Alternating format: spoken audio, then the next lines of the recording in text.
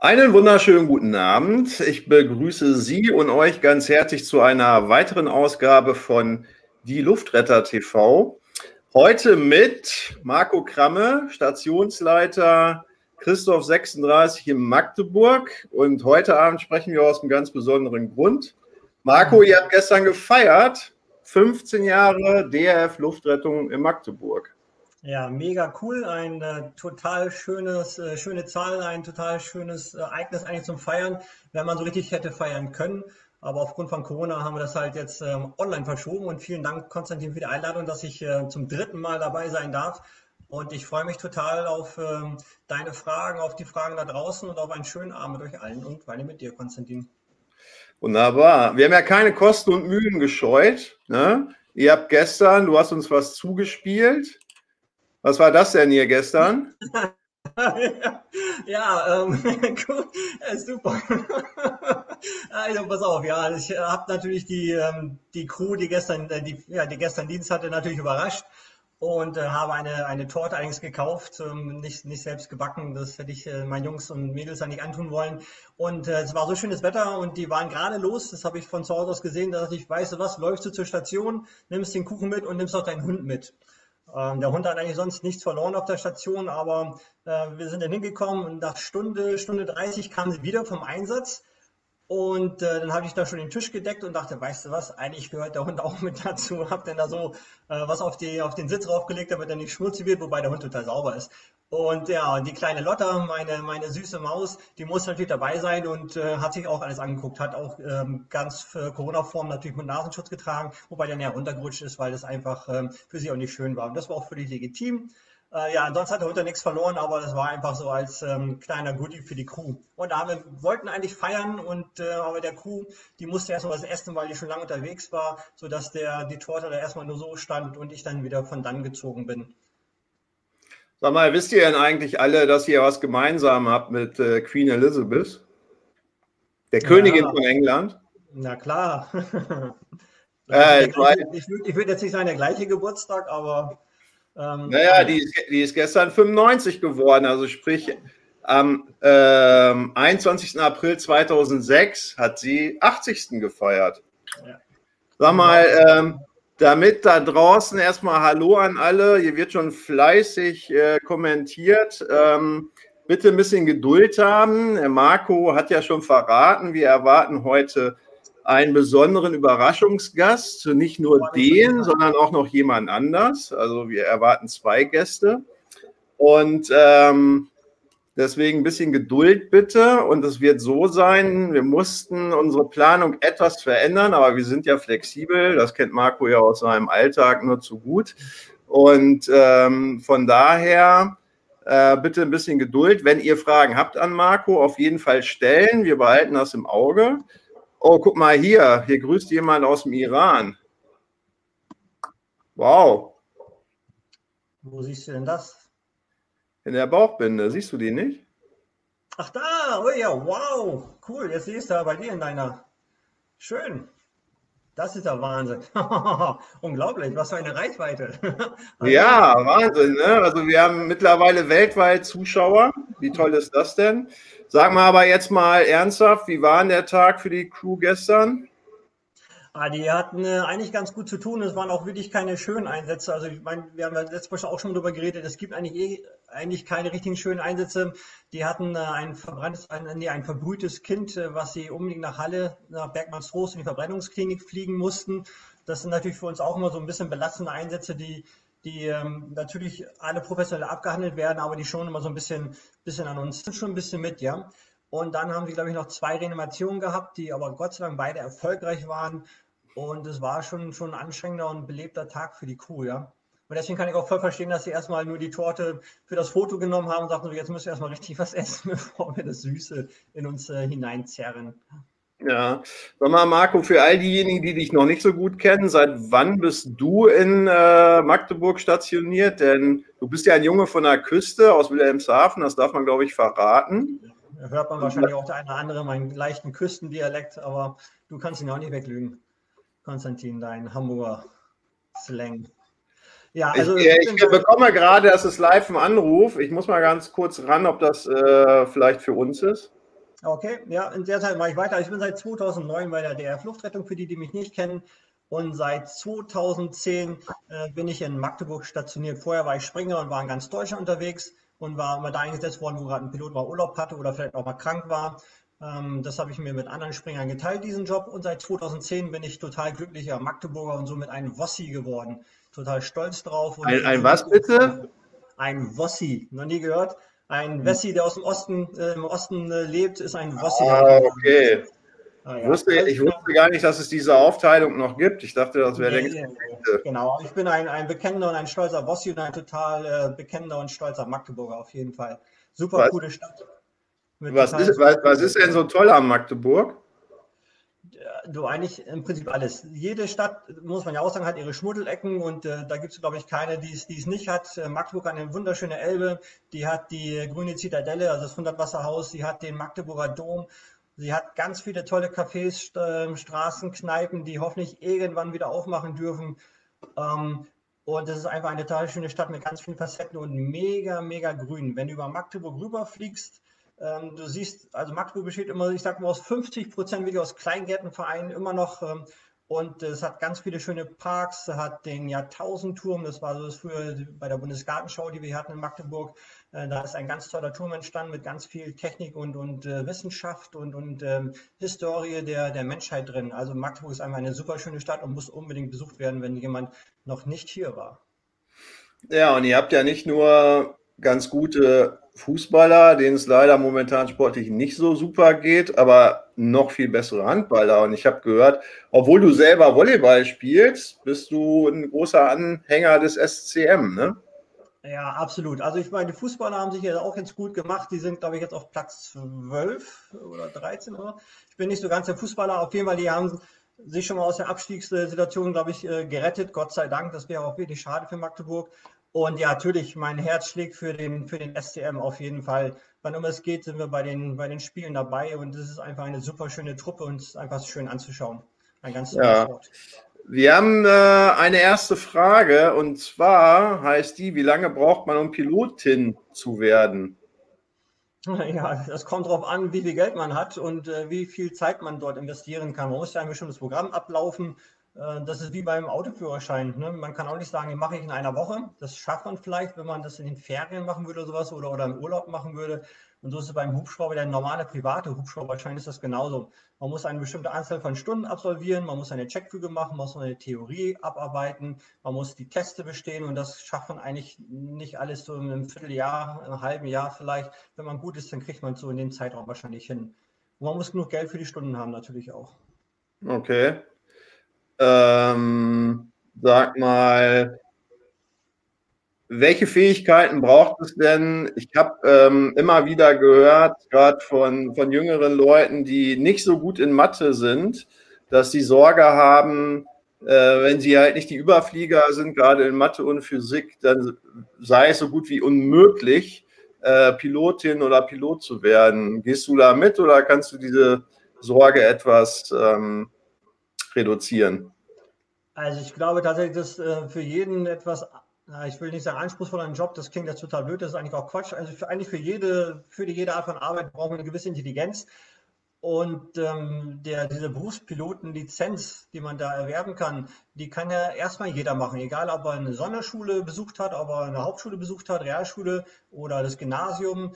Das ist völlig egal. Du, du kannst den Berufspilotenschein, wie gesagt, wenn du über genug Geld verfügst, erstmal machen. Und wenn du dann die ganzen Teste bestehst und äh, richtig gut gelernt hast, dann äh, hast du den, den Schein. Ob du damit danach was anfangen kannst und dann sich bei einer Firma oder einem Unternehmen bewerben kannst, ist die zweite, also bewerben kannst du auf jeden Fall, ob du da angenommen wirst, ist die zweite Frage. Aber machen kann ihn eigentlich jeder, der über genug Geld verfügt und sich diesen Schein erlauben kann liegt so bei 40.000 bis 80.000 Euro, wenn man so einen Turbinenhubschrauber fliegen möchte. Das ist schon viel Geld. Oh. Guck mal, ähm, wir haben eine nächste Frage von Michael, die ist relativ lang. Ich hätte Fragen beziehungsweise an einen Piloten im Internet sieht man ab und zu Videos, in denen anscheinend Ersthelfer und angebliche Privatpersonen in Zivilkleidung den Hubschrauber beim Landen helfen. Ausgebreitete Arme nach unten.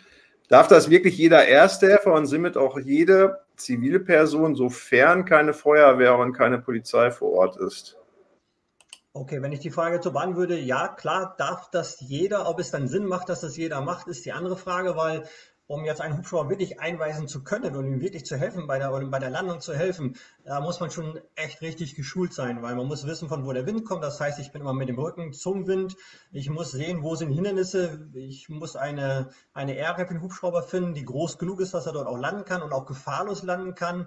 Ähm, ich muss äh, wissen, wie ich mich verhalte, wenn ich von dem Hubschrauber abknie und ich den Downwash, also der Wind, der von oben runtergesaugt wird und, und nach unten ausgebreitet oder sich ausbreitet, den muss ich natürlich auch noch berücksichtigen. Das ist alles nicht so einfach, wenn man, äh, wenn ich, äh, ich sage dann so schön, wenn man keine Ahnung hat, ja. Letztendlich entscheidet der Pilot, wo er landet. Letztendlich entscheidet der Pilot, wie er landet. Es ist aber oft oder ja, es ist öfter eine gute Hilfe, wenn jemand da ist und schon mal sagt, Mensch, hier könnte landen. Aber letztendlich muss der Pilot das selbst entscheiden, weil er ist für die Verantwortung, er ist für die Crew verantwortlich, er ist für die Leute drumherum verantwortlich und er entscheidet, wo er sicher landen kann. Okay.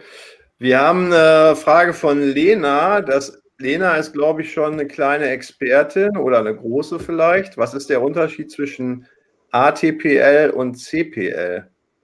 Ja, das kann man eigentlich ziemlich schnell im Internet nachlesen und äh, dort wird vielleicht auch viel, viel besser erklärt. Das sind zwei unterschiedliche Arten von Berufspilotenlizenzen. Die eine hat äh, mit äh, Mehrmod und äh, mit äh, Multi die oder mit einer Crew zusammenhängen, die mehr als zwei oder die mehr als einen Piloten an Bord hat. Und dementsprechend kann man ein ATPL machen und, und ein CPL machen. Aber es geht jetzt ganz schön ins Eingemachte. Also es sind wirklich das sind richtige Fachfragen. Also der CPL, der, der Berufspilotenschein Commercial Pilot License ist ja der CPL, ist der, wo man allein Hubschrauber sitzen kann und, und auch alleine fliegen kann. Man braucht kein IFA dazu, ähm, also keine Instrumentenflugberechtigung, die ist auch, glaube ich, Teil vom ATPL. Äh, da gehört schon einiges dazu, um den ATPL zu bekommen. Okay. Ähm, das hier ist eine relativ allgemeine Frage, die kann sogar ich beantworten. Gibt es so einen Art Tag der offenen Tür, wo man alles erklärt bekommt und auch mal im Hubschrauber sitzen darf? Natürlich nach Corona. Da gibt es bei euch ja einen ganz speziellen Tag eigentlich jedes Jahr, ne? So Stichwort Konzert. Ja, genau. Also die Frage genau hast du schon beantwortet. Klar gibt es Tag der Türe und die, die versuchen auch ähm, regelmäßig auf die Beine zu stellen. Der letzte bei uns war, glaube ich, 2017, meine ich. Äh, dies Jahr war auch einer geplant, aber da hat uns leider Corona einen Strich durch die Rechnung gemacht. Und natürlich äh, ist da die Verantwortung ganz, ganz groß. Deswegen können wir das dieses Jahr nicht machen. Äh, wir gucken, ob wir es 2022 schaffen. Und ja, natürlich, wir haben ein ganz, ganz großes Event jedes Jahr, wo ich mich immer darauf freue. Dieses Jahr ist es auch ausgefallen. Und zwar sind das ähm, mein Lieblingsverein, die Kinderklinikkonzerte e.V., bei dem ich auch Mitglied bin.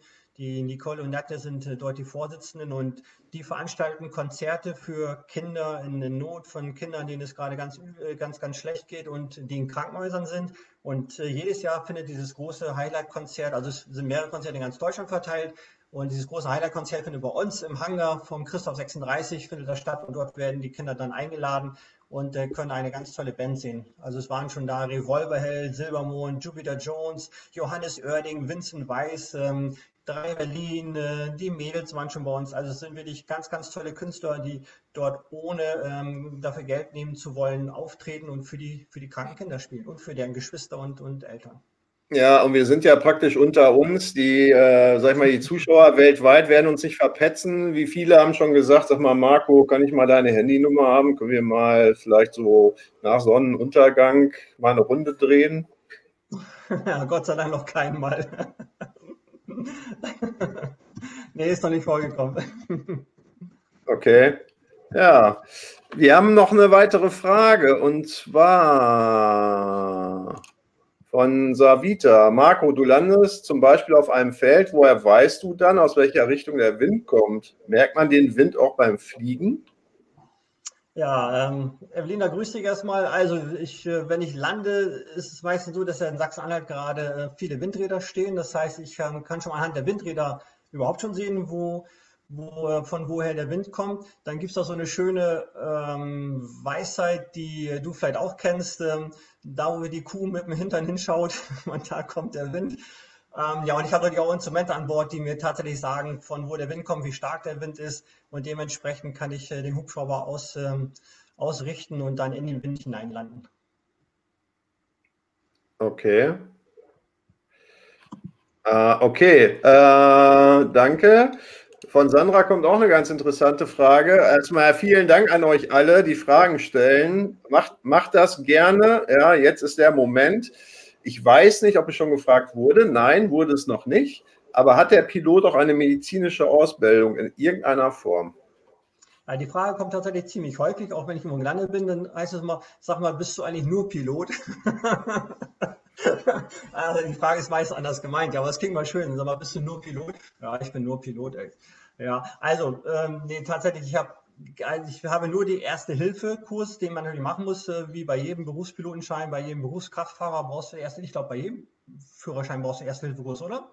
Ich glaube ja. Meines Wissens ja. Ist ja auch völlig richtig, ja. Absolut, absolut. Nur ist es bei mir genauso. Ich habe den Erste-Hilfe-Kurs, äh, das ist der Pflichtkurs, den ich haben muss medizinisch. Natürlich kriege ich jede Menge mit, weil die DRF natürlich unheimlich äh, stark in Fortbildung ist und unheimlich viel äh, auch in Fortbildung macht und sehr viele medizinische Fortbildungen auch bei uns an der Station stattfinden. Und da wäre ich natürlich doof, wenn ich da nicht dran teilnehmen würde.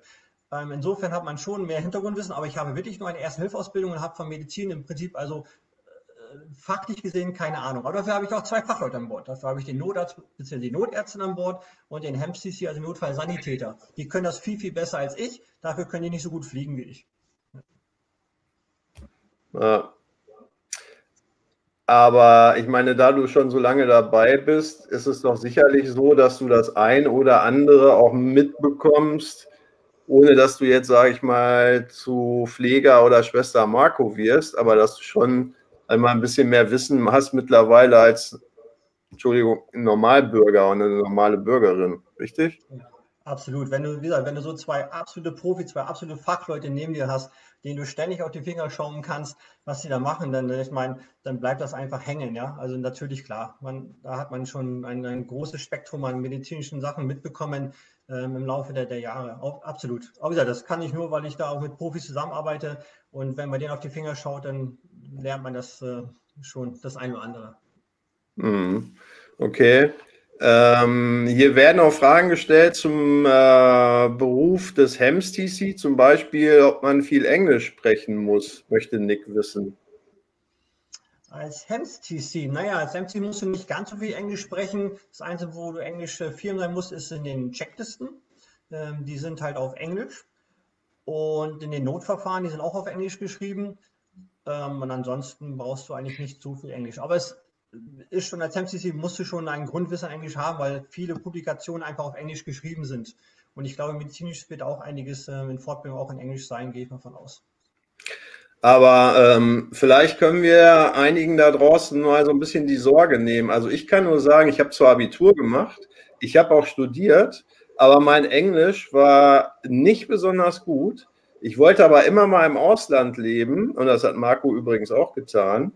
Ähm, und ich habe ein Jahr in Australien gelebt und dort auch journalistisch gearbeitet.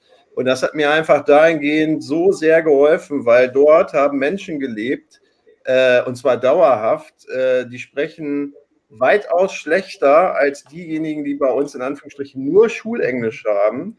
Und ich kann nur jeden ermutigen, weil ich fest davon überzeugt bin, dass wenn man was will, und Englisch zum Beispiel dazugehört, dann wird man das auch lernen. Ich meine, wie ist denn das bei dir mit dem Pilotenenglisch? Also ich meine, ihr habt ja ganz viele Fachbegriffe, die sind natürlich alle auf Englisch.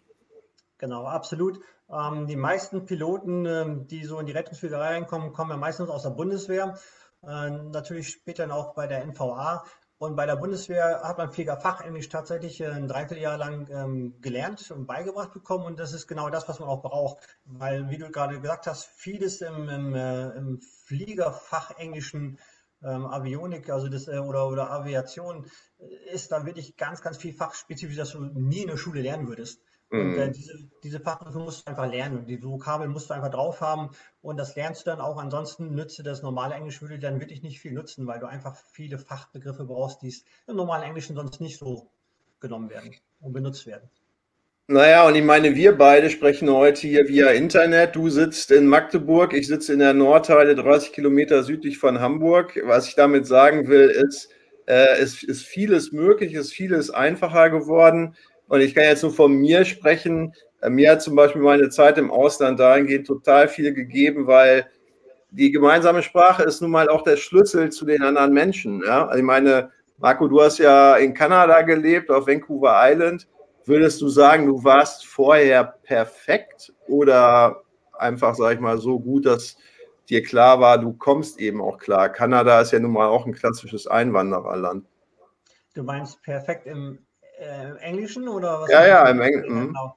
Nee, absolut nicht. Und wenn du nach Kanada gehst und ich habe ja im Heli-Logging gearbeitet, ein bisschen also äh, Baumchancengewege rausgeholt und wenn du da mit den Leuten sprichst, gerade so den, den Holzfällern, ey, die sprechen ja Englisch, da, da schlackerst du mit den Ohren, da musst du erst zwei, dreimal zuhören, da muss man reinwachsen. Aber das Beste ist ja tatsächlich, das wissen ja auch viele, deswegen machen auch viele ihr Studium ja im, im Ausland, weil wenn du dort in einem Land lebst, wo die Sprache gesprochen wird, eine, eine bessere ähm, Aktion zum Lernen der Sprache, das, das kannst du gar nicht machen, ja. Also das ist was Besseres gibt es gar nicht. Hm.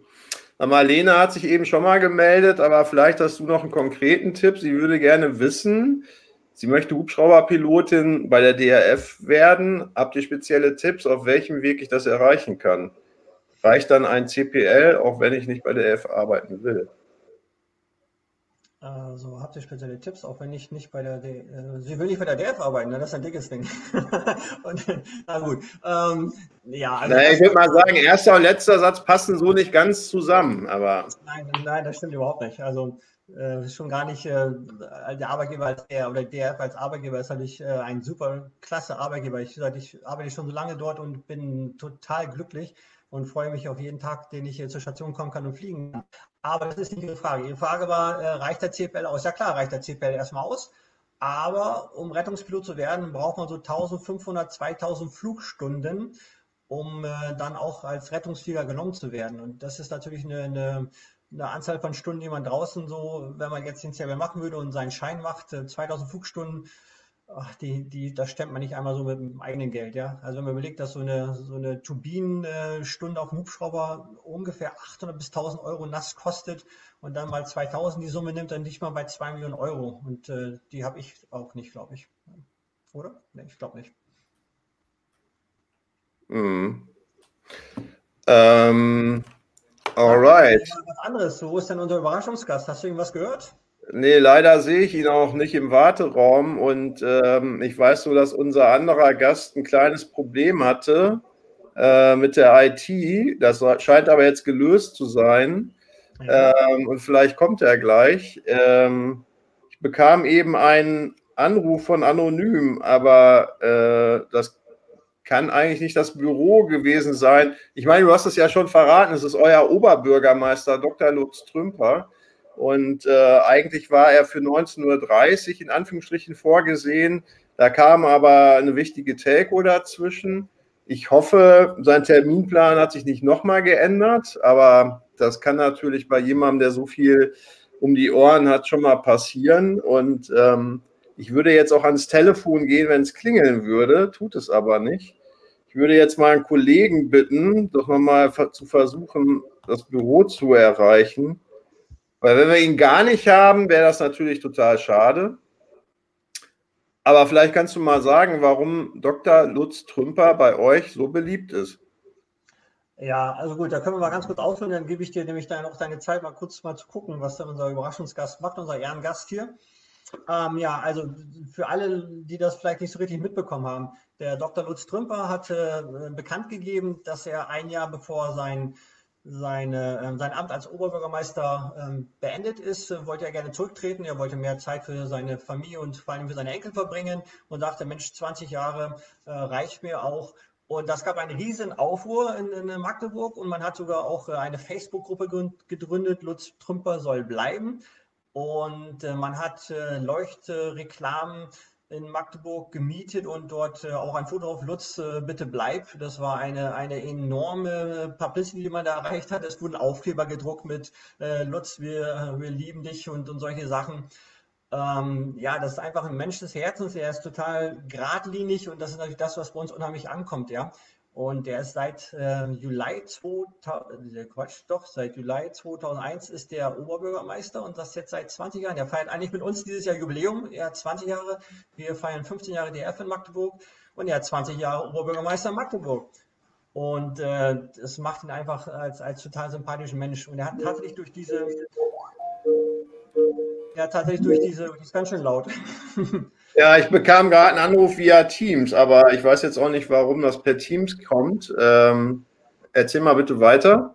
Genau. Und ähm, er hat sich dadurch durch, will durch, äh, durch diese Aktion äh, unter anderem ähm, bereitschlagen lassen, will ich nicht sagen, aber es war einfach so, dass er sagte, weißt du was, ähm, das hat mich so äh, berührt, dass die Leute mich angesprochen haben in meiner Freizeit, äh, wenn ich äh, spazieren gewesen bin, mach doch bitte weiter, dass er da sich gesagt hat, okay, er, macht seine Amtszeit zu Ende und danach ist aber wirklich Schluss. Und dann würde ich sagen, 21er Oberbürgermeister Magdeburg hat er vielleicht auch dann mal Ruhe verdient.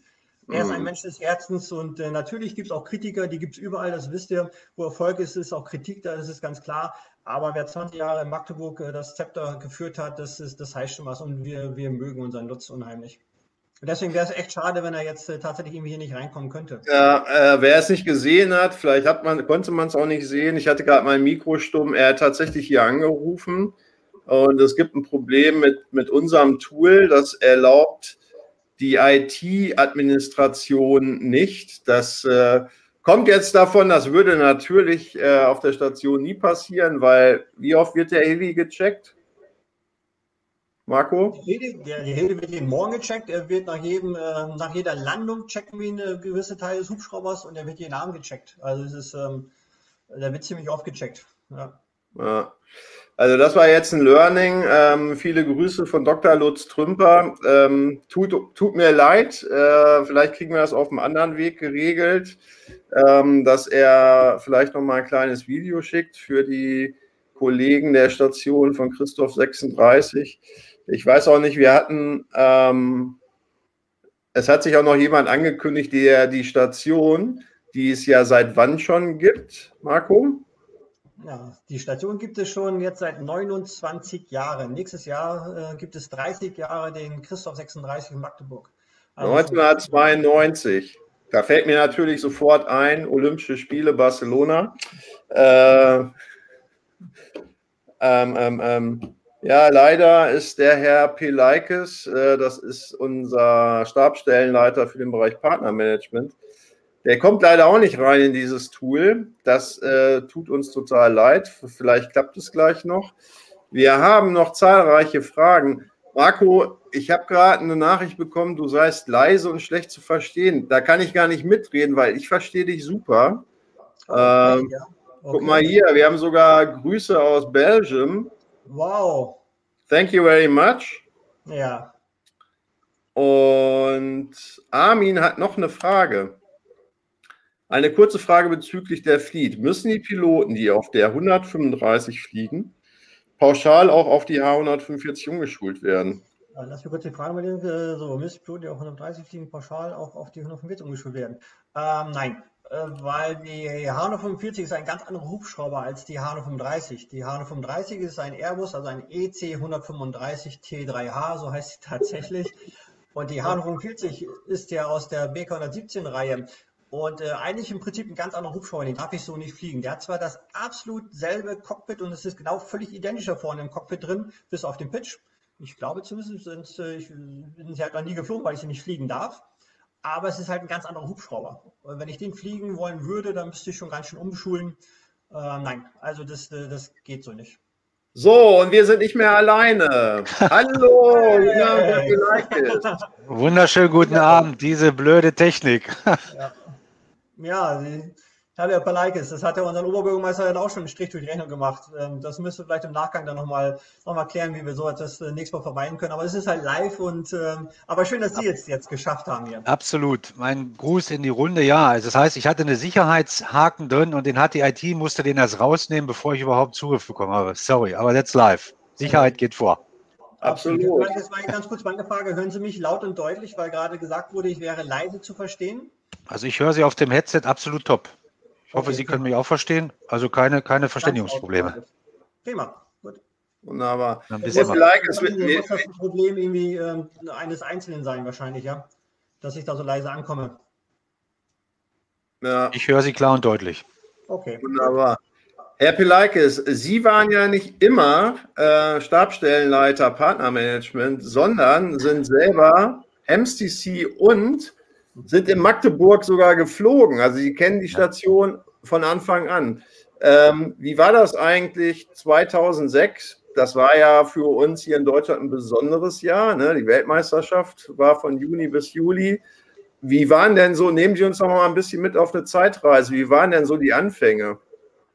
Ja, die Anfänge, ich meine, gut, wir sind ja schon seit äh, 1991, durfte ich schon in Magdeburg fliegen. Gut, wir haben die Ausschreibung gewonnen. Äh, das Sozialministerium hat uns darum gebeten, darauf Wert zu legen, dass die, die HEMS-DCs, die seinerzeit und auch jetzt wieder von der JOH mitfliegen, auf dem Hubschrauber bleiben, was die DRF zugesandt hat. Und ansonsten war es eine Teamwork, alle Mann miteinander. Jeder hat angefasst. Also ein, ein, ein, ein Gesamtwerk. Äh, alleine schafft man das nicht. Wir haben die Ausschreibung gemacht, aber sie sind dann natürlich auf die Rahmenbedingungen vor Ort angewiesen, auf die Leute, auf die Mitarbeiter, die hoch motiviert waren. Und ja, dann haben wir neben dem Fußball gucken auch die Station nebenbei aufgebaut.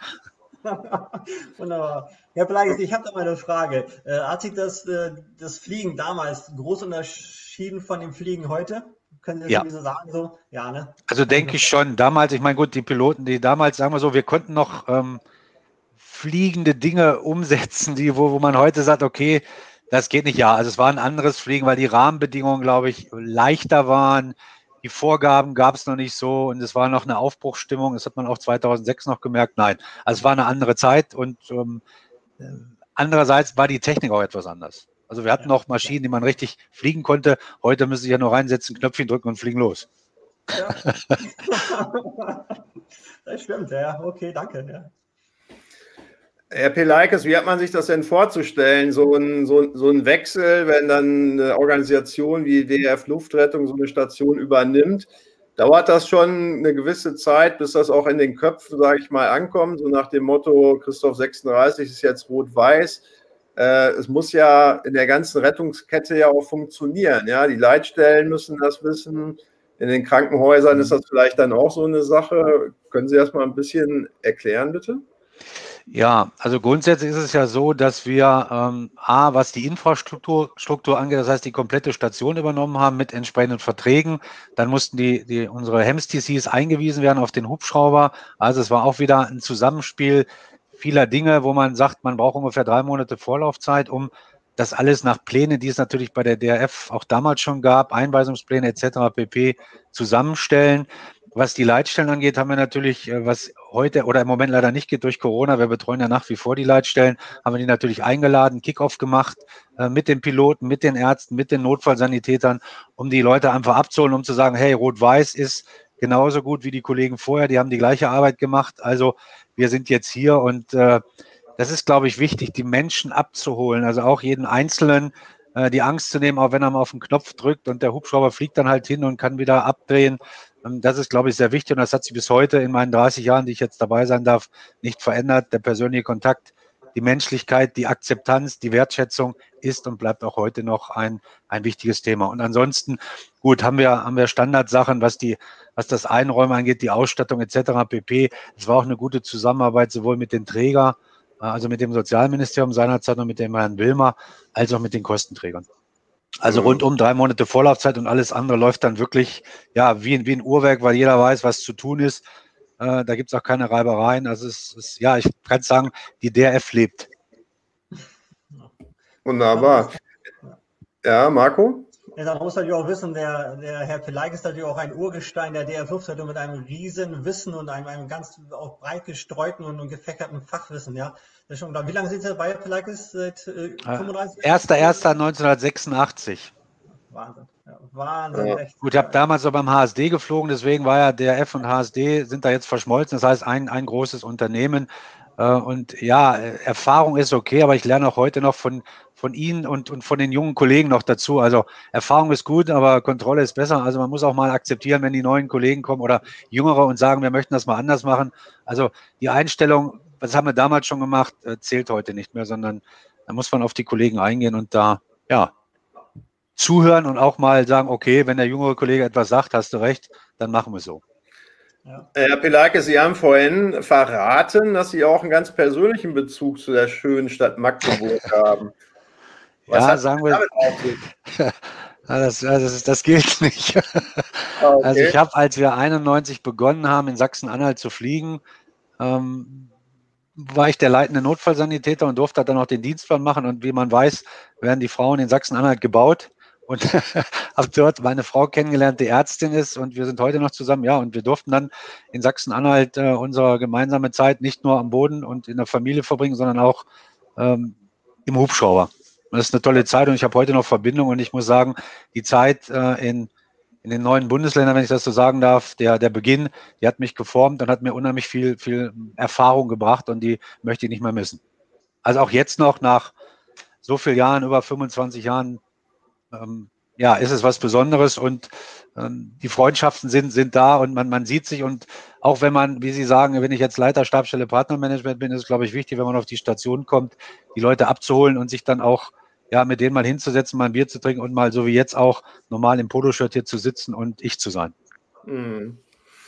Ja, vor allem, das merkt man ja auch. Sie haben es ja eben gesagt, Teamarbeit. Das betrifft ja nicht nur diese Zusammenarbeit unter den Kolleginnen und Kollegen, sondern auch, und ich bin jetzt seit äh, knapp zwei Jahren dabei und das spürt man halt, ähm, dass immer wieder betont wird, ohne den bodengebundenen Rettungsdienst, ohne Feuerwehr, ohne Polizei wird das alles nicht funktionieren. Und das finde ich halt auch super, äh, dass das immer wieder betont wird, ja, dass man nicht das Gefühl hat, wir sind was Besonderes, weil wir mit einem besonders tollen Gerät unterwegs sind. Ja.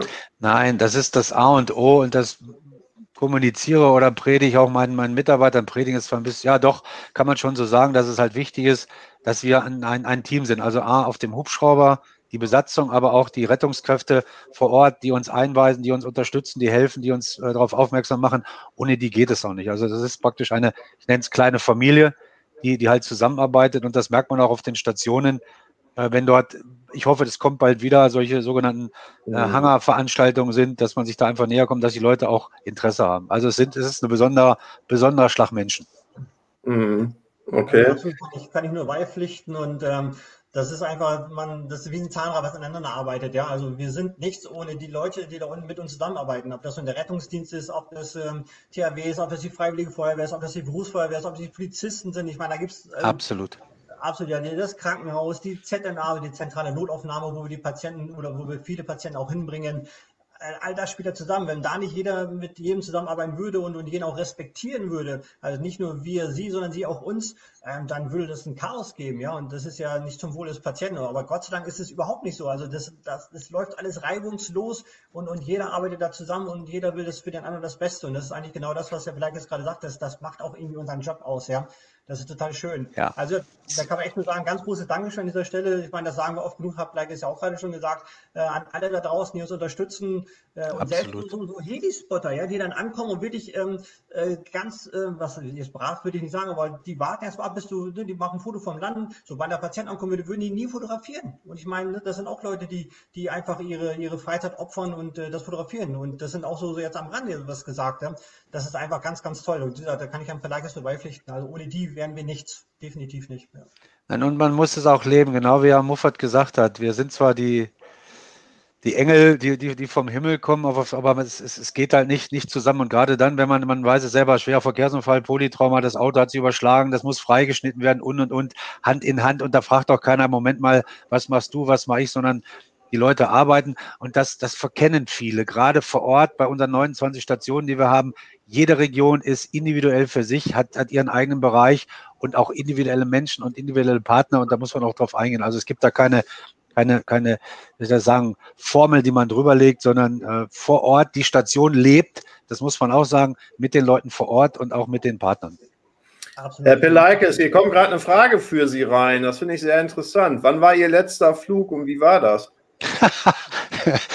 oh ja, ähm, mein letzter Flug, gute Frage, nächste Frage. Äh, als, also mein letzter Flug war in Bad Saro, das weiß ich noch wie heute.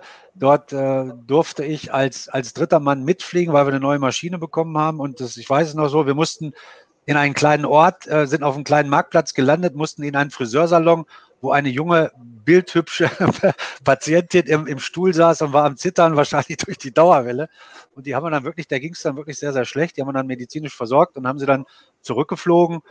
Das war ein Highlight oder ein Highlight war auch ein Flug nach Terremolinos, also nach Spanien, wo wir dann dem Flugzeug, mit der Fläche, also ich durfte auf Fläche mitfliegen, dann Patienten nach Deutschland geholt haben. Also der letzte Flug, wie gesagt, äh, Bad ich vermisse es nach wie vor. Äh, auch wenn man jetzt in einem gewissen Alter ist, am liebsten würde ich jetzt manchmal den Bleistift hinlegen, auf die Station gehen, sagen, hallo Herr Grammer, hier bin ich, ich habe Brötchen mitgebracht, ich habe Frühstück mitgebracht, was wir auch tun, auf der Station mit den Leuten frühstücken, sagen, jetzt bin ich hier, jetzt bin ich ein Teil von euch und dann ja, wieder mal mitfliegen. Ich denke, ich würde es auch, wenn es wieder möglich ist, auch wieder machen. Also letzte Fluch Bad Saro war ein Traum. Jede unserer Stationen hat ihre Besonderheiten und äh, es gibt so Lieblingsstationen. Da gehört Bad Saro dazu, Halle dazu, Magdeburg, weil ich sie mit aufgebaut habe und äh, auch oben in, im Bereich Greifswald ist auch schön. Also das eine ist ja, dass wir den Patienten behandeln und das andere ist natürlich auch, dass man auch das nutzt, wenn man auf dem Rückflug ist, einfach ja die Faszination vom Fliegen. Ja, einfach wieder, auch, wieder runterfahren. Ne? nach dem Einsatz ja. runtergucken, das, das hilft dem Fliegen natürlich ungemein, das stimmt. Ja. Ja, und auch das, das Team. Ich meine, das muss ich Ihnen nicht sagen. Wenn man dann, was ich vorne als, als Sani kann ich ja vorne links, ich sage mal, Sani noch vorne links mitfliegen, navigieren, machen, tun. Es ist, es ist, es ist faszinierend und ich bin mit meinen über 35 Jahren, wenn Sie mich heute Nacht wecken und sagen, wir haben einen Flug, dann stehe ich auf und komme mit. Ja. ja ich sage, ich fliege auch seit, seit, über 30 Jahren und ich fliege noch total gerne. Jeder Tag, den ich äh, zu, zu, meiner Station bei der DR Flugzeugen kommen kann, da freue ich mich wie ein kleines Kind. aber nicht weiter. Ja, aber das ist schön. Solche Menschen, solche Leute brauchen wir. Führungskräfte sind Führungskraft, die sind verantwortlich für die Station. Die müssen diesen, diesen Spleen im Kopf haben, so wie ich das sage. Die müssen DRF verrückt sein oder, oder verrückt fürs, für, die, für die Luftrettung. Und das sind wir, glaube ich, alle drei, so wie wir uns hier im Bild sehen. Absolut. Hier kommt noch eine weitere Frage. Ähm, ich bin mir nicht ganz genau sicher, ob ähm, das tatsächlich so war, dass ihr schon mal jemanden mitgenommen habt, ob es da vielleicht um Hospitation geht oder eventuell, heute gibt es ja auch die Möglichkeit, das vielleicht mal anhand eines Tutorials zu erklären. So ein paar technische Details im Cockpit. Marco, wäre sowas vielleicht also denkbar? Ja, also ich kann mir vorstellen, dass die Frage vielleicht dahin zielt, ob wir mal wieder Besuch auf der Station haben dürfen. Und dann haben wir natürlich selbstverständlich, wenn mal jemand herkam, durfte sich ins Cockpit reinsetzen. Wir haben ihm ein paar Fragen erklärt, wenn da das Interesse da war. Ähm, sobald dieses Corona-Zeug im Griff ist und ähm, sie alle durchgeimpft sind und äh, die Gefahr nicht mehr so groß ist, dass man sich irgendwie anstecken könnte, dann, ähm, na klar, dann geht es wieder los. Dann können die Leute wieder zur Station kommen, können sich anmelden und dann dürfen die auch selbstverständlich in Hubschrauber rein, sich den Hubschrauber anschauen und wir erklären total. Ja, wer, wer eure Station nicht kennt, ich kann mal kurz ein paar Sequenzen zeigen. Die kommen netterweise von dir. Vielleicht bist du so lieb und sagst mal was da.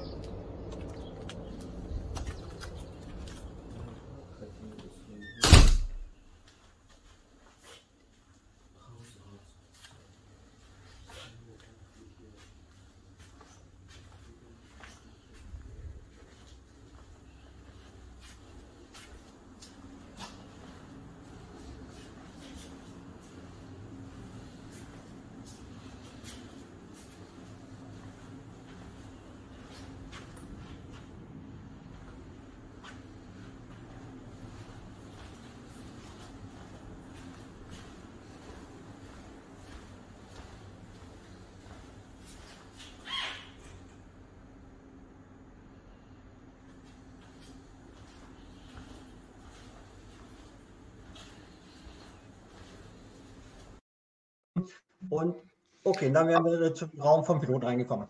Ja, ähm, das tut mir furchtbar leid, aber dieses, dieses, dieses Tool erlaubt nicht, dass du über die bewegten Bilder sprichst. Das ist mir selber erst aufgefallen, als sie liefen. Also letztendlich war das halt mal ein kurzer Gang durch eure Station, ne? Okay, das heißt, man hat mich jetzt nicht gehört, na Gott sei Dank. Nein, leider nicht. Es tut mir, es tut mir leid. Okay. Die Bilder waren beeindruckend. Ja, okay, das kann ich mir vorstellen. Also gut, kurz erklärt war das, man kam rein, das war das Büro gleich am Anfang, wo dann äh, der Arzt gerade am Computer saß. Daneben war der Aufenthaltsraum. Da hatte ich gesagt, ähm, da sitzen wir einfach mal drin, wenn wir vom Einsatz wiederkommen, einfach mal zum Entspannen oder auch um den Einsatz nochmal nachzubesprechen und sagen, Mensch, Mensch, so ist es gelaufen und, und ähm, fühlt man sich immer noch wohl, weil vielleicht gerade ein, ein Kind gerettet worden ist, was ertrunken war mhm. vorher. Da, das möchte man ja doch mal im Team nochmal besprechen und dafür ist dieser Raum ideal. Daneben eine kleine Küchenzeile, man hat auch mal Hunger, man möchte auch mal was essen, dann äh, wird da was Kleines zubereitet, was man auch schnell wieder ausmachen kann, wenn der nächste Einsatz kommt. Äh, danach hat man den, den Sozialtrakt gesehen mit dem Medizinraum und da hinten war dann ähm, das Pilotenzimmer und das äh, Zimmer vom HMCC. Wenn mal Leute fremdkommen, die nicht in Magdeburg wohnen oder es wird ganz, ganz spät, dass man sagt, ey, ich schlafe jetzt hier auf der Station, hat man halt ähm, drei Räume, wo der Arzt, der HMCC und oder die, die Ärztin und der, der Pilot dann schlafen kann. Mhm. Okay, vielen Dank. Der Florian möchte wissen, wie viele Piloten ihr habt an der Station. An der Station sind immer, also an einer Tagstation, die also von Sonnenaufgang bis Sonnenuntergang fliegt, ähm, sind immer drei Piloten da, die sich dann die 365 Tage im Jahr teilen. Alles klar. Und ich habe da auch noch eine Frage gesehen, man müsste echt mal wieder hochscrollen, da sind ja so viele Fragen, die da kommen. Da ist der Tim Neumann, der schreibt hier, ich bin zwölf und habe Angst, dass ich nicht irgendwann bei der DF als Pilot genommen werde, Herr Paleikes. ja, also lieber Tim, ähm, hab keine Angst. Erstmal sieh zu, dass du in der Schule schon aufpasst, sieh zu, dass du im Englisch genau. Mathe und, und ähm, ganz, ganz toll deine Hausaufgaben machst und auf jeden Fall will ich ganz fleißig dabei bist, gute Noten schreibst. Und äh, dann steht dir die Welt auch offen. Dann kannst du einfach so einen Schein machen oder gehst vielleicht auch zur Bundeswehr und wirst dort einen Schein erwerben. Und dann musst du einfach das Ziel haben, äh, zur DRF Luftrettung zu kommen, was eine ganz, ganz tolle Arbeitgeber ist, kann ich dir wirklich sagen. Du siehst ja, der, der Herr Peleikis ist schon seit äh, 35 Jahren, glaube ich, wenn ich jetzt richtig gerechnet habe, dabei. Ja. Du bist immer noch dabei. Das, das muss was heißen. Aber noch kein Pilot. Also ordentlich lernen, Tim, und dann, dann schaffst du das schon. Wir haben eine eigene Akademie wo wir auch die Leute vom Fußgänger bis zum Piloten eventuell ausbilden, wenn alles stimmt, wenn die Noten stimmen. Also ich kann nur sagen, mit zwölf bist du noch am Anfang deiner Laufbahn. Also schön artig Schule machen und der Rest genau. kommt automatisch. Aber ähm, Marco, was die Zuschauerinnen und Zuschauer nicht sehen, äh, du bist auch Schlagzeuger. Also und Schlagzeuger haben besondere Koordinationsfähigkeiten. Das weiß ich deswegen, weil ich es nicht kann. Ähm, aber mein kleiner Sohn hat Schlagzeug gespielt und leider aufgegeben. Also um mal jemandem wie Tim so ein paar Tipps zu geben, gibt es, sage ich mal, Koordinationsübungen, vielleicht Jonglieren oder sowas, wo man sagen kann, man muss es ja nicht auf Krampf machen, aber das sind, das sind Sachen, die sich tatsächlich lohnen, weil man das später einfach braucht, wenn man in diesem Job landen möchte. Ja, also ich glaube, erstmal hilft dir wirklich, ähm, wenn du einfach ein fleißiger Mensch bist und, und in der Schule echt gut aufpasst und ähm, da, dein, deine Sachen ablieferst. Und dann, ich meine, es gibt so viele ähm, Möglichkeiten, das im Internet machen. Hier, ein, ein Flugsimulator zum Beispiel. Das ist eine ideale Möglichkeit, den auf dem Computer zu installieren und einfach dort schon mal ein bisschen zu fliegen und die Instrumente schon mal sich anzuschauen und vielleicht auch mal zu versuchen, gleichzeitig die Höhe zu halten und, und die Geschwindigkeit zu halten. Und einfach, das ist ja auch schon multiples äh, Abfragen äh, von, von Fähigkeiten. Ja, ich glaube, damit kann man ganz gut lernen, wenn man sowas macht. So einen kleinen Flugsimulator einfach äh, sich installieren, kaufen oder schenken lassen und da ein bisschen mit, mit arbeiten. Ich glaube, das hilft ungemein. Hm. Okay. Sagen Sie, Herr Pilaikes, das klang vorhin so ein bisschen so, als wäre es noch eine Sehnsucht. Haben Sie sowas zu Hause, so einen Flugsimulator für den Rechner? Nein. Nee. Also das mache ich nicht. Wenn ich fliegen möchte, dann gehe ich wirklich zur Station und setze mich zu den Kollegen ins äh, entweder nach hinten in, in die Kabine oder ins, ins Cockpit. Aber das ist so, ich bin auch, gehöre noch zu der Generation, die sagt, wenn ich fliegen möchte, dann steige ich in den Hubschrauber ein. Das verstehe ich, ja. und ich habe die Chance, ich habe die Chance, das ist halt der Vorteil. Ja, ja, dass man sagt, okay, ich würde jetzt gerne mal Dienstaufsicht machen. Genau. Hier gibt eine Frage von Sandra, die möchte wissen, wie es ist, wenn ihr euren Patienten im Klinikum abgegeben habt und dann der nächste Einsatz kommt. Fliegt ihr dann direkt dorthin? Ich denke so an Reinigen und Desinfizieren. Wie funktioniert das? Ja, das ist, finde ich so eine gute Frage. Schön, dass sowas mhm. äh, so komplex gestellt wird und gefragt wird. Also, wenn wir einen Patienten in der Klinik abgegeben haben und wir sind, ähm, also eigentlich fängt der Pilot, wenn er mit runterkommt und äh, der Patient ist dann schon im Schockraum drin, da fange ich zum Beispiel schon mal an, ähm, dass ich die Trage schon mal desinfiziere im Krankenhaus bereits, ne? also unsere Trage, die wir im Hubschrauber haben. Ich fange an, das ähm, EKG schon mal zu reinigen, äh, die Manschette wird wieder von mir gereinigt. Also all das sind Sachen, die dann schon mal wieder, ja, ich will nicht sagen steril, aber hygienisch behandelt sind, sodass sie auf jeden Fall bereit sind für die nächsten Patienten. Und das meiste bei uns ist ja auch Einweg. Ne? Das weiß der Pelagis auch sehr gut. Wir arbeiten ganz viel mit, mit Einwegmaterialien. Das heißt, die werden eben Krankenhaus gelassen und der Hubschrauber ist dann wieder einsatzbereit. Es würde jetzt anders aussehen beim schweren Verkehrsunfall, wo vielleicht ein Mensch sehr stark geblutet hat und das würde jetzt in den Hubschrauber reinlaufen. Genau, dann wäre so ein Fall, wo wir tatsächlich ähm, dann sagen müssen, jetzt muss Hubschrauber auch desinfiziert werden, aber das passiert äußerst selten. Insofern sind wir tatsächlich, wenn wir aus dem Krankenhaus rauskommen, ist eigentlich alles wieder sauber, was sauber sein muss. Also nicht nur sauber, sondern auch hygienisch ähm, desinfiziert und, und äh, steril. Und wir können gleich wieder weiterfliegen. Das heißt, bei den Einwegsachen haben wir das mehrfach an Bord, dass wir so drei, vier, fünf Einsätze hintereinander abdecken können. Also das ist mhm. immer gewährleistet, dass wir nach dem Abgeben des Patienten eigentlich gleich weiterfliegen können. Hassan möchte wissen, wie lange braucht ihr vom Alarm bis zum Ausrücken? Zwei Minuten. Also innerhalb von 120 Sekunden, wenn der Alarm geklingelt hat, äh, sind wir in der Luft und, und fliegen los. Das, das geht ganz, ganz schnell. Der Alarm kommt, der Pilot äh, guckt nur ganz kurz, wo es hingeht. Wenn er das nicht weiß, den Ort, es kann ja angehen, dass auch, auch wir irgendwo hinfliegen, wo wir uns nicht ganz so gut auskennen. Dann schaue ich kurz auf die Karte. Das dauert 10, 20 Sekunden. Dann bin ich draußen im Hubschrauber, lasse den Hubschrauber schon an. In der Zeit äh, schaut der Notfallsanitäter genau hin, wo wir hin müssen, geht nochmal ähm, über ein Tool von, von ähm, das nennt sich Rescue Track. Da schaut er rein, wo ist denn der Landeplatz, wie sieht der aus?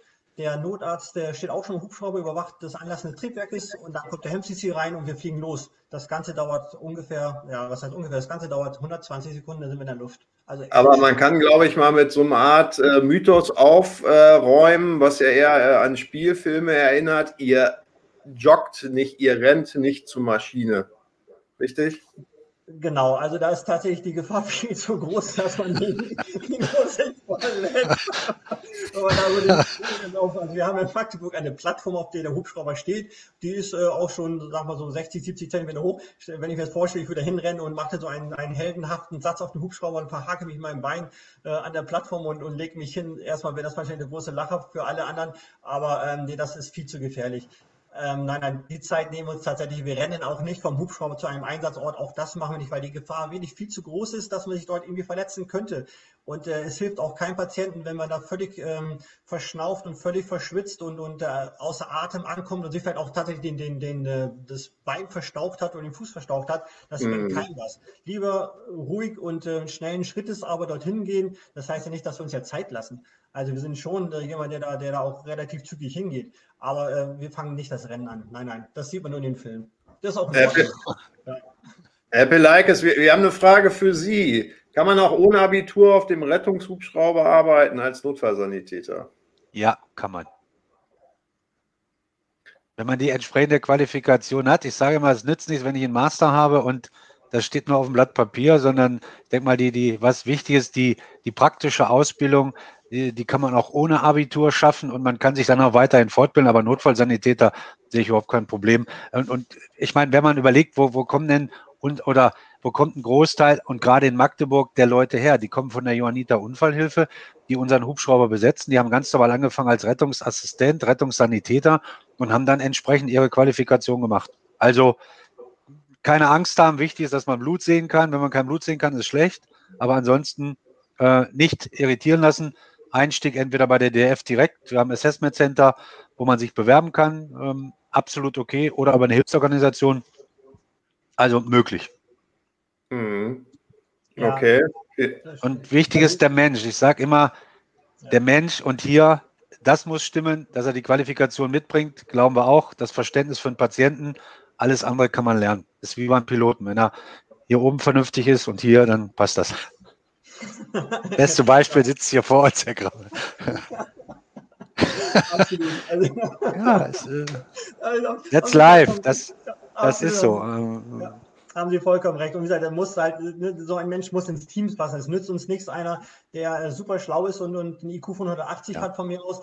Ähm, er muss ins Team passen, er muss teamfähig sein, er, er muss für sein Team stehen und da muss, ich habe es ja schon mal gesagt, wie ein Zahnrad, da muss jeder ähm, äh, in, ineinander greifen. Also jeder ist für Absolut. jeden Genau, das ist völlig egal, ob der nun eine Realschule hat, äh, was weiß ich, Hauptschule oder, oder Abitur hat, ja.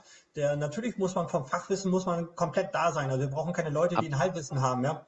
Nein, aber wenn Sie einen guten Mentor haben, absolut okay. Ich meine, jeder macht da was. Es gibt ein Klinikpraktikum, es gibt ein Praktikum im Unternehmen, äh, man, man kann hospitieren, man hat immer jemanden an der Seite und wenn man da einen guten Mentor hat, den hatte ich auch, der nimmt einen mit, der, der lässt einen auch, auch Dinge machen. Nicht nur, ich mache das selber, sondern er lässt einen auch machen unter Aufsicht und das ist, glaube ich, das Wichtigste. Und da haben wir in der DRF ausreichend gute, qualifizierte Mitarbeiter und Kolleginnen und Kollegen, die genau das machen.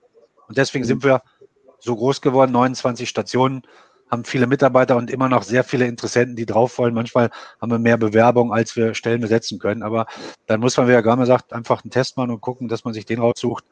Wie zum Beispiel der Tim, der dann vielleicht in zehn Jahren sagt, ich habe jetzt Lust und dann ist er dabei. Genau, äh, an der Stelle, äh, Tim möchte schon ganz lange wissen, was man als Pilot verdient. Ich habe ihm mal eben geschrieben, sein Verständnis gebeten, dass das an dieser Stelle hier nicht äh, thematisiert wird. Ähm, wie heißt es so schön, über Geld spricht man nicht. Also Nein, das hat man.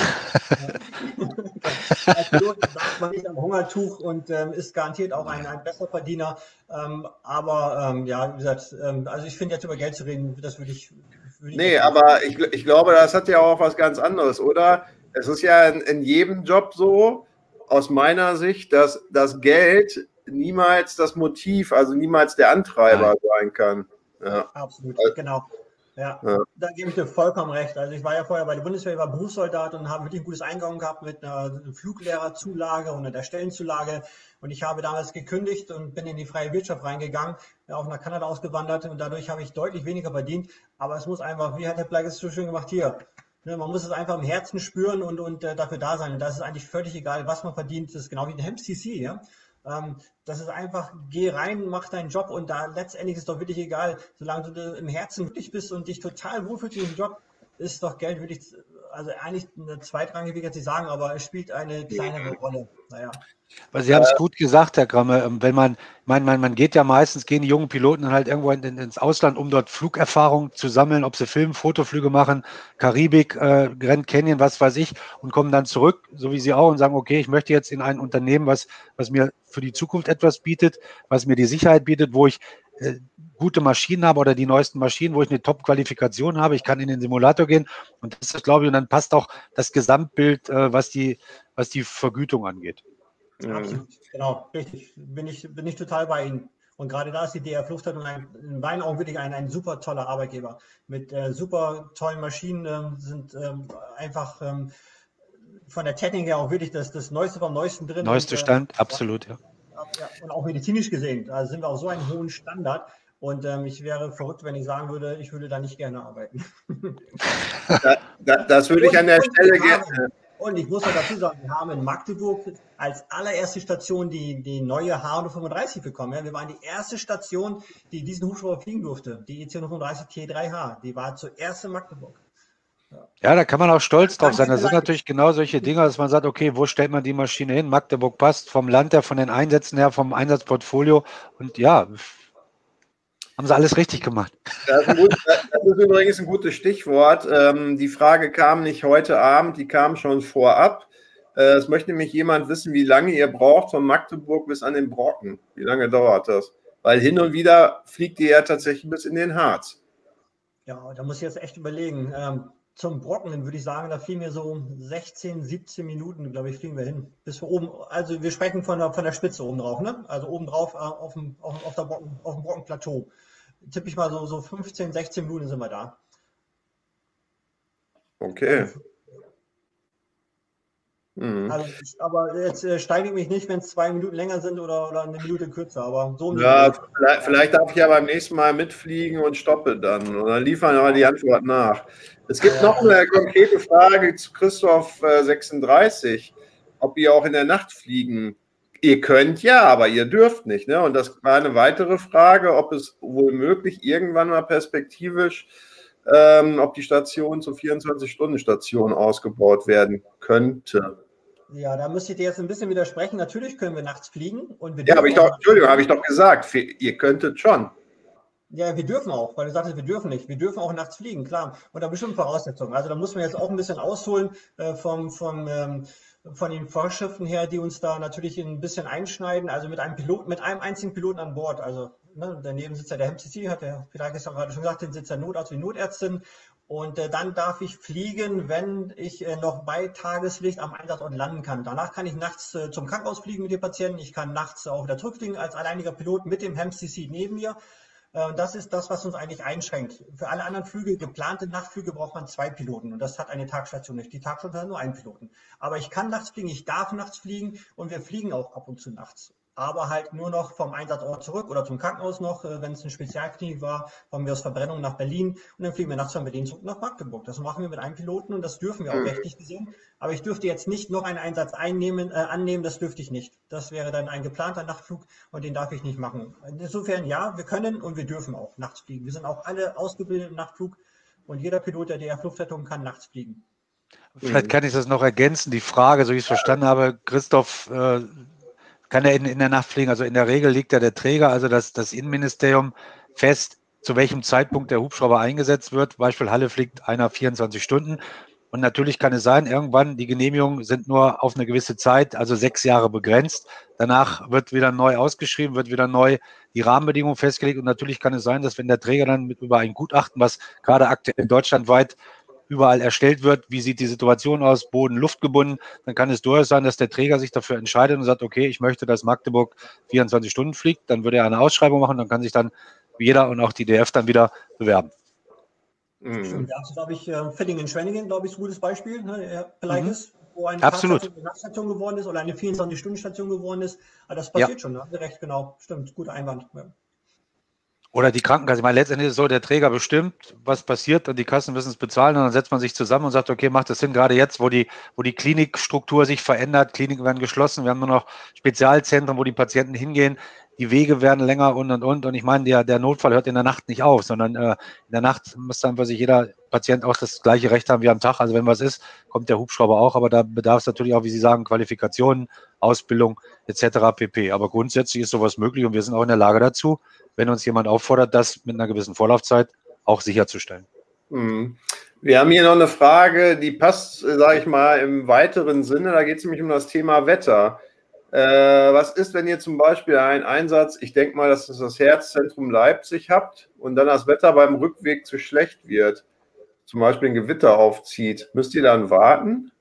Hm. Also grundsätzlich ist natürlich so, dass wenn wir losfliegen äh, oder wir irgendwo länger stehen, dass der Pilot natürlich eine, auch eine Wetter, erstmal beobachtet das Wetter sowieso ständig, ja ähm, dass wir uns dann eine Wetterberatung einholen, wenn wir merken, Mensch, da könnte vielleicht Gewitter im, Anzug sein, da könnte Gewitter, kommen, wir machen ja morgens unser Wetterbriefing. Äh, wir informieren uns, wie das Wetter sich im Laufe des Tages entwickeln wird. Das kann manchmal stimmen und das kann manchmal auch nicht stimmen. Deswegen müssen wir das Wetter immer im Auge behalten. Soll das wirklich mal tatsächlich dass sich das Wetter anders entwickelt, als äh, das geplant war und als wie wir das beobachtet haben. Und dann wirklich mal ein Gewitter kommt, da können wir auf keinen Fall durchfliegen. Dann müssen wir wirklich entweder den Hubschrauber irgendwo erstmal stehen lassen, warten, bis das Gewitter vorbeizieht und dann fliegen wir weiter. Ähm, wenn dann noch ein Patient dabei sein sollte, was in meinen elf Jahren noch nie vorgekommen ist, dann müsste der Patient bodengebunden mit Rettungswagen weitergefahren werden. Wie gesagt, in meinen elf Jahren ist das noch nie vorgekommen, weil wir halt immer ein Auge aufs Wetter haben und immer genau wissen, wie sich das Wetter entwickelt. Mhm. Habe ich die Frage damit gut beantwortet? Oder? Ich finde ja. ja. Okay, ähm, hier ist noch eine interessante Frage. Hat euer Hubschrauber eine Herz-Lungen-Maschine an Bord? Eine Herz-Lungen-Maschine. Naja, also unser hat natürlich, äh, genau, hat natürlich keine Antwort. Ich überlege jetzt gerade, ob wir schon mal jemand geflogen sind mit der Herz-Lungen-Maschine. Aber das war ja nicht die Frage. Also nein, natürlich haben wir keine an Bord, ähm, ähm, weil wir die auch viel zu brauchen, die würde zu viel Platz wegnehmen und, und ähm, zu viel Gewicht auch. Aber Herr Bleikes kann auch vielleicht was zu sagen. Ja. Ja, also das ist die, die sogenannte ECMO, extrakorporale Membranoxygenierung. Äh, mittlerweile sind die Maschinen oder, oder diese Gerätschaften so klein, dass für sie zum Beispiel mit dem Christoph Sachsen-Anhalt, das heißt, man braucht dann auch eine entsprechende Größe und nimmt dann auch ein entsprechendes Team mit. Also neben unserem Team fliegt dann noch ein, ein ECMO-Team mit. Ähm, das ist dann möglich, wird auch angemeldet, ähm, ist, also ist möglich, aber eine eigene Maschine macht keinen Sinn, weil sie dafür auch Spezialisten brauchen, die die bedienen, wie eine Herz-Lungen-Maschine oder, oder wie, wie, wie eine ECMO. Ähm, das, das ist nicht möglich. Also ja, wir können sie transportieren, aber wenn, dann mit einem Spezialteam und mit einer größeren Maschine. Okay, genau. Ja. Also ich habe auch noch mal gerade durchgescrollt hier. Konstantin, ich habe dir ein bisschen geholfen, weil sind dann wirklich wieder, also vielen, vielen Dank da draußen für eure ganzen Fragen. Das ist echt der Hammer. Wir können wahrscheinlich noch zu dritt hier bis 23 Uhr sitzen und haben nicht alle Fragen beantwortet. Äh, die Andrea zum Beispiel hier, Andrea Melcher schreibt, wie viel Dienst hat man als Pilot im Monat? Ähm, das ist eigentlich eine, eine leichte ähm, Lösung. Im Sommer fliegen wir vier Tage am Stück und haben dann acht Tage frei, weil wir sind da drei Piloten und im günstigsten Fall ist es so, vier Tage fliegt der erste, vier Tage der zweite, vier Tage der dritte. Und dann kann man das ganz einfach rechnen, dass man ungefähr so dann im Sommer auf zehn bis äh, zwölf Dienste im Monat kommt. Im Winter fliegen wir tatsächlich sieben Tage, also wenn ähm, die, die Sommerzeit vorbei ist, fliegen wir tatsächlich sieben Tage am Stück maximal. Haben wir halt sieben Tage Dienst und äh, meistens kommt es mit den 14 Tagen frei nicht hin, weil dann doch irgendjemand Urlaub hat oder Lehrgänge hat. Also ne, die, die Luftleitung macht ja sehr, sehr stark ähm, also wir sind sehr stark eingebunden in Fortbildungen, was auch sehr, sehr wichtig ist. Das heißt, da ist immer mal ein Pilot unterwegs oder ein HEMCC, der dann fortgebildet wird, der in der Fortbildung ist. Und äh, da kommst du mit den 14 Tagen meist nicht hin, aber da haben wir halt sieben Tage äh, Dienst am Stück und äh, dann eigentlich 14 Tage frei. Mhm. Die äh, Sandra würde gerne wissen, ob euch das stört, wenn Anwohner im Umkreis Fotos vom Heli machen. Hier in Brandenburg hat es bisher keine Probleme gegeben oder ist das eher unerwünscht? Nein, da haben wir überhaupt kein Problem mit. Also ich habe es ja eben schon gesagt mit den Heli-Spottern kurz angerissen. Ähm, ich, ich, wir wissen ja, wie, wie stark äh, so ein Hubschrauber fasziniert in der, in der Bevölkerung, wie, wie toll ähm, das auch jeder findet. Ich meine, es ist ja auch Wahnsinn. Da landet ein Hubschrauber in meiner unmittelbaren Nähe und ich kann mir diesen Hubschrauber ansehen, ja, was ja sonst nur im Fernsehen zu sehen ist. Und äh, sagte, wir Plages das ist ja ein hochmoderner Hubschrauber. Natürlich kann man da Fotos machen und äh, wenn es die Zeit erlaubt ja. und, und äh, kein Patient in der Nähe ist, dann kann man auch mal zum Piloten hingehen und fragen, Mensch, kann ich da mal reinschauen? Und ähm, wenn der Pilot nicht gerade ähm, unheimlich gestresst ist, weil er gerade andere Sachen zu tun hat, ähm, dass er schon vorbereiten muss, weil der Patient gleich kommt und, und er muss da irgendwelche Sachen schon mal vorbereiten, dann ist, ähm, überhaupt gar kein Problem, dass man mal näher kommt, auch ein, auch ein Foto macht vom Hubschrauber. Total. So, da, damit du jetzt mal kurz was trinken kannst, kann ich ja mal so eine Landung zeigen. Wir können wieder nichts sagen, es sind aber nur ein paar Sekunden.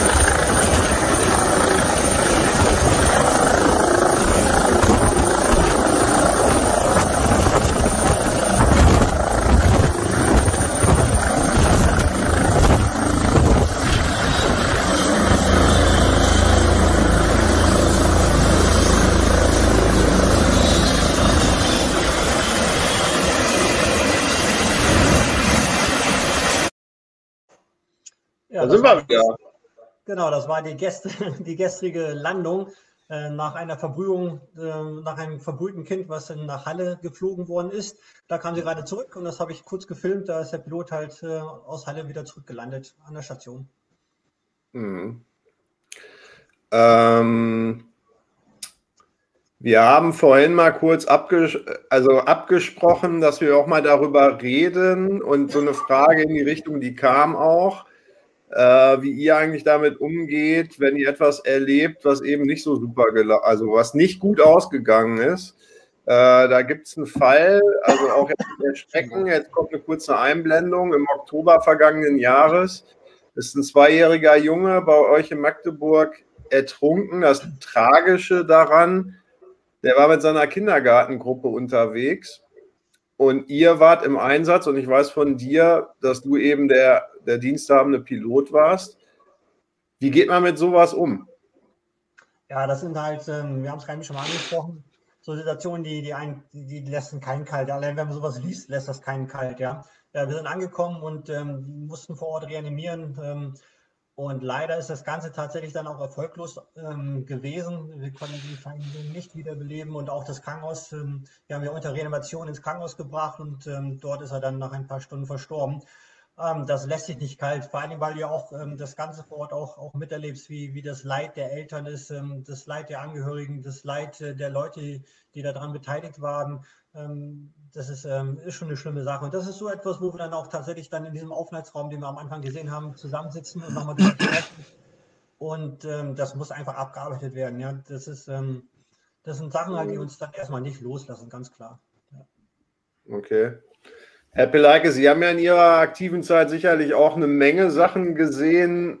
Und ich meine, dadurch, dass Sie schon so lange dabei sind, ich meine, hat sich da halt auch viel verändert. Also, äh, ich habe in Köln studiert, da gibt so es so eine Band, The Black First, die singen mhm. auch sowas übersetzt wie, eigentlich darf man Indianer ja nicht mehr sagen, aber Indianer weinen nicht. Also hat sich dahingehend auch was verändert, dass man heute auch Kolleginnen und Kollegen ermutigt, darüber zu reden, wenn, wenn man eine Geschichte hat, die einen total anfasst? Und, und wie geht man dann innerhalb der Organisation damit um? Bekommen die Kolleginnen und Kollegen dann, sage ich mal, psychologische Hilfe? Ja, also im Gegensatz zu damals, als ich selber noch aktiv geflogen bin, wir haben uns auch damals schon gegenseitig abgeholt und gemerkt, wenn der andere, äh, wenn ihn etwas bedrückt hat. Und gerade was, was, der, was, was der Marco Gramme sagt, bei Kindern, ähm, äh, ja, hat man ein anderes Gefühl. Das, das ist einfach so, Kinder sind, ja, dann ja, kriegt man Gänsehaut. Das ist das eine. Ja, selbstverständlich im Unternehmen. Es hat sich unheimlich viel getan in den letzten, ich bin jetzt seit 20 Jahren bei der DRF. Ähm, dass wir jetzt also in, also im Haus speziell ausgebildete Kolleginnen und Kollegen haben, mit denen man reden möchte. Aber es gibt natürlich auch Kollegen, die sagen, an für sich möchte ich nicht mit, mit meinem Kollegen reden, sondern ich hätte gerne, ich sag mal, eine externe Hilfe, also möchte mit einer neutralen Person sprechen. auch da haben wir im, also im Unternehmen selbstverständlich die, die Voraussetzung geschaffen, dass der, der es möchte, auf ihn zugeht. Und es gibt auch, Herr Gramme kann es bestätigen, entsprechende Sicherheitssysteme, dass man halt erkennt, okay, wenn ein Kollege nicht gerade richtig drauf ist oder sagt, ich will jetzt nicht fliegen, ähm, dann, dann entscheidet das die Besatzung. Also ja, es hat sich etwas verändert, dass man jetzt professioneller ist, dass man weiß, wie man damit umgeht und dass man auch ähm, die Voraussetzungen dafür geschaffen hat. Ist so. Mhm. Aber wir haben früher, haben wir es mit, ich sag mal, einfachen Mitteln gelöst. Jetzt ist es wirklich so, die Zeit, wie, wie die Maschinen auch, bringt es mit sich. Aber es ist so, äh, man muss aufeinander achten und man kriegt, glaube ich, ganz gut mit, auch in der heutigen Zeit, äh, wenn es der Kollegin oder dem Kollegen nicht, nicht so gut geht. Und man nehm, wir nehmen sie dann auch, ich glaube, das ist auch noch ein wichtiges Thema, weil ich ja mit, mit zu der, zu der, zu der Führungsmannschaft gehöre des, des Unternehmens und äh, wir, wir nehmen dann auch die Mitarbeiter aus dem Dienst raus. Also wenn jetzt der Gramme zurückkommt, dann sagt hier der, der, der Notfallsanitäter oder er selber, ich bin jetzt nicht mehr in der Lage, weiter zu fliegen, dann hat er selbstverständlich das Recht zu sagen, okay, ich gehe jetzt raus und dann wird ein Ersatz gestellt. Das hat, hat jeder Mitarbeiter und das steht ihm auch zu. Also absolut professionell und richtig. Hm. Vielen Dank. Beispiel, Entschuldige, Konzi, ein gutes Beispiel war ja zum Beispiel, ähm, wir hatten es ja, glaube ich, beim letzten, beim vorletzten Talk schon mal erzählt, mein allererster Einsatz bei der DRF Luftrettung war ja hm. äh, der 11. März 2011 und das war ähm, der Amoklauf von Winnenden, ja, das war mein mhm. allererster Einsatz, da war ich dann sowieso, äh, 2009, nicht 2011, 2009. Ähm, und da war ich gerade in der Supervisionsphase in Leonberg mit einem sehr, sehr erfahrenen Piloten. Und danach hat tatsächlich der Vorstand, der Vorstand persönlich, das muss ich mal vorstellen, der Vorstand hat bei uns angerufen auf der Station, sagte, Jungs, wie geht's euch? Mhm. Sollen, wie Herr Peleikis das gerade sagte, sollen wir euch aus dem Flugdienst rausnehmen, äh, dass ja. ihr durchschnaufen könnt? Und äh, wir alle drei haben da dann kurz drüber gesprochen und äh, dann den Vorstand wieder angerufen und sagt, nee, wir möchten gerne weitermachen, weil jetzt rausnehmen, das ist in unserem Fall jetzt nicht so äh, gut für uns, haben wir gedacht, wir möchten weitermachen, das war auch richtig so. Aber das ist tatsächlich, Absolut. gesagt, ähm, da ist der Vorstand sofort da und, und der hat, in dem Fall hat wirklich ähm, der Vorstand von angerufen und gefragt, Jungs, äh, sollen wir euch rausnehmen, wie geht's euch? Also es ist wirklich, das wird ganz, ganz ernst genommen, das Thema bei der DF-Luftrettung. Ganz, ganz ernst. Mhm. Äh, hier hier gibt es eine sehr schöne Info dazu von Julika ich als Extremfrühchen mit Herzfehler, äh, Mama soll das heißen, muss sagen, ihr habt uns als Eltern bei allen drei Einsätzen richtig toll emotional abgeholt. Inzwischen ist der kleine Hubschrauberfreund zweieinhalb Jahre. Ohne die Kollegen aus Bad Berka ah, würde es okay. nicht mehr geben. Ja. Cool, ja, schön, prima. Vielen Dank für das Feedback. Das ist äh, total schön, ja. Das, das ist sehr schön. Das freut einen immer wieder. Also je, jede, jede Rückmeldung, äh, die ist absolut, oh, jetzt klingelt es hier, muss ich kurz meinen Chef wegdrücken. Sorry. Nein, das ist absolut wichtig, ist auch wichtig, weil in der Regel ist es ja so, Herr Gramme, Sie können es mit Sicherheit bestätigen, Sie fliegen einen Einsatz, retten Menschenleben, bringen die Patientin oder den Patienten dann weg und dann kommt nichts mehr. Und ich glaube, es ist ein super Feedback, was wir immer wieder hören, auch von den Besatzungen, wenn man, wenn man anruft, sagt, hey, vielen Dank, viele backen noch Kuchen, bringen dann was zu essen, kommen noch vorbei. Also es ist es ist was Besonderes und das sollte man auch so als besonders ähm, annehmen. Meine Meinung, wenn ich schon dabei ja. bin und so sagen, sprechen darf, wie ich möchte, dann ist es was Besonderes, gerade die, das Zwischenmenschliche. Absolut. Äh, wobei, Marco, du hast mir erzählt, so oft erfahrt ihr gar nicht, was aus den Patientinnen geworden ja. ist. Und du hast aber kürzlich genau das Gegenteil erlebt, nämlich eine, eine Rückmeldung, von einer Angehörigen, äh, ohne dass wir jetzt ins Detail gehen, aber ähm, ich fand das selber, sag ich mal, wirklich berührend, weil äh, wir haben im Zuge ähm, eures Geburtstages häufiger in den vergangenen Wochen mal miteinander telefoniert, um das auch vorzubereiten. Und da hast du mir das erzählt. Ähm, magst du mal kurz skizzieren, was da, ähm, was das für eine Rückmeldung war?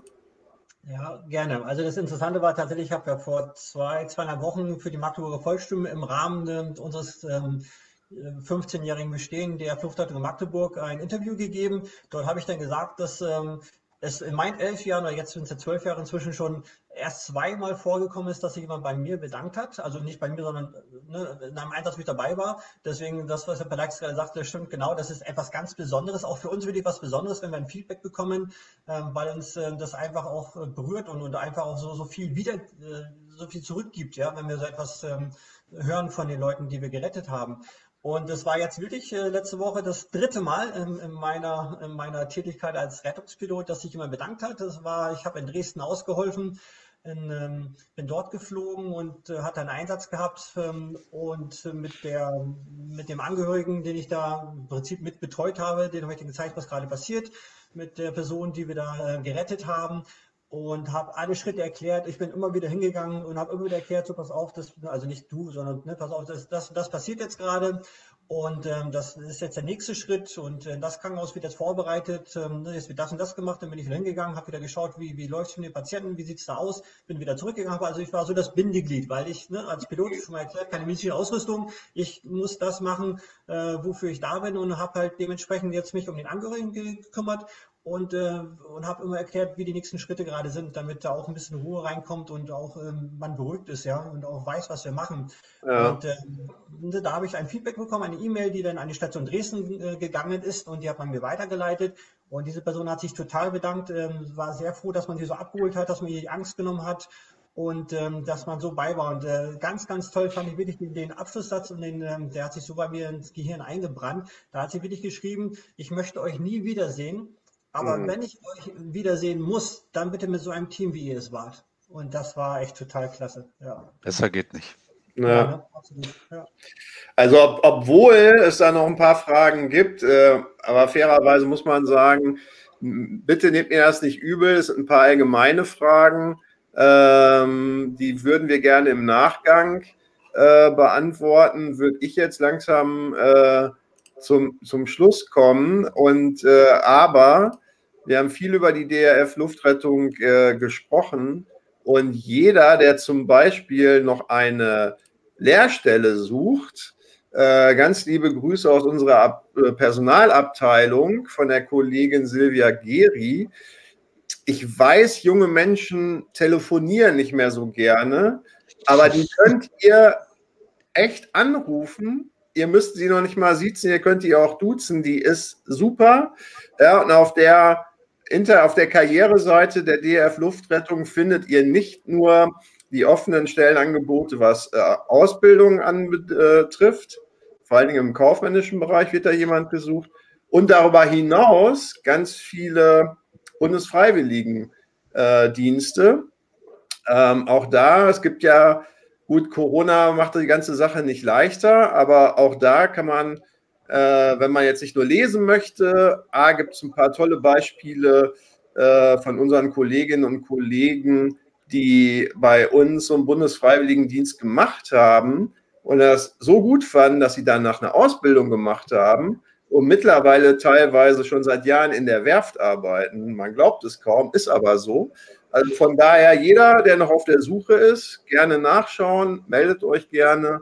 Wir freuen uns und ähm, wenn Herr Pelaikes jetzt sozusagen nichts mehr hinzuzufügen hat, würde ich mich langsam bedanken für alle, die uns zugeschaut haben, die so fleißig kommentiert haben.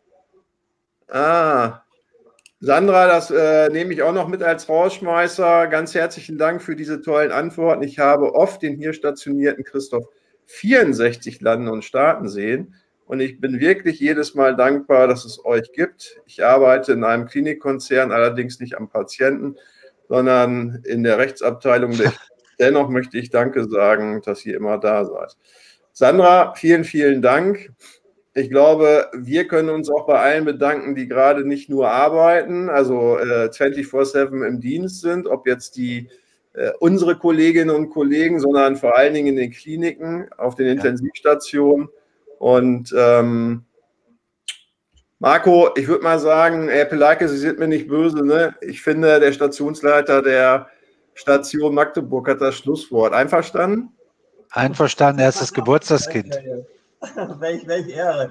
Ja, ich glaube, ich nutze ich auch erstmal. Erstmal vielen, vielen Dank da draußen an eure ganzen Fragen und dass ihr äh, die DR Flugzeug auch so toll unterstützt. Ich habe beim letzten Mal, bei, bei unserem letzten Live-Talk mit Stefan Nusser, das war auch ein, ein super Talk, ähm, gab es hinterher ganz viel Feedback und ähm, wir hatten ja so ein bisschen äh, auch, na, ich will nicht sagen Werbung, aber ein bisschen gesagt, Mensch, ihr könnt uns unterstützen, indem ihr bei uns im Shop einkauft. Das wurde wirklich auch ordentlich genutzt und äh, ich finde das total klasse, was für eine Unterstützung wir eigentlich von, von euch da draußen auch erfahren, ja das gibt uns auch ganz, ganz viel zurück.